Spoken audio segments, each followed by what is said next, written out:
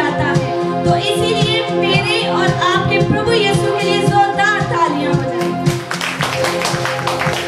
मतलब जीत के लायक है तालियों के लायक है। हालेलुया।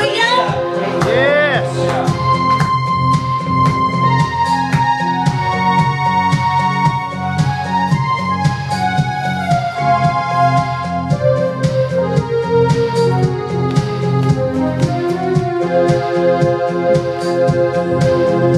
you.